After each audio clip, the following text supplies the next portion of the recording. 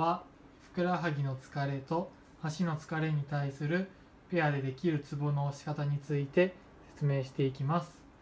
まず、えー、膝を軽く曲げ術者側の足に軽く乗せます。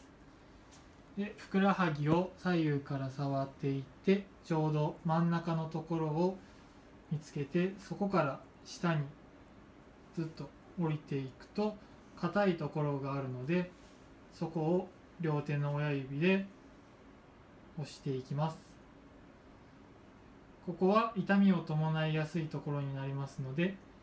ゆっくり優しく押していくところから始めてください押す方法は5秒間